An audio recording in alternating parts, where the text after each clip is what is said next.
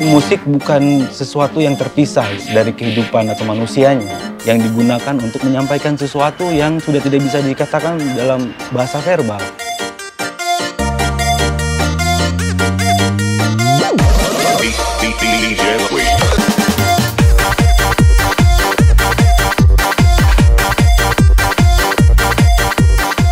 Perkembangan musik musisi yang sekarang mulai pop saya lebih senang sekali. Karena banyak teman-teman yang mereka bilang musik ini tidak ada membawa perubahan buat orang lain.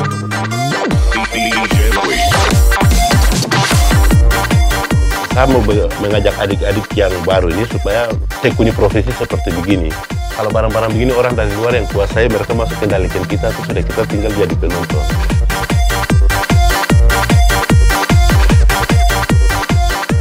kan kalau bisa lihat saja di, di Jawa tuh biasanya pasti dangdut musiknya, musik kerakyatnya. Kita sebenarnya ingin mencari identitas di mana yang tepat dengan kita. Louis.